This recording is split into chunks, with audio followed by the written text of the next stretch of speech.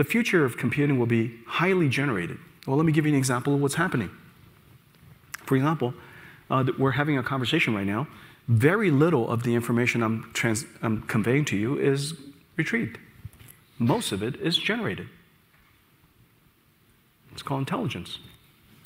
And so in the future, we're going to have a lot more generative, our computers will, will perform in that way.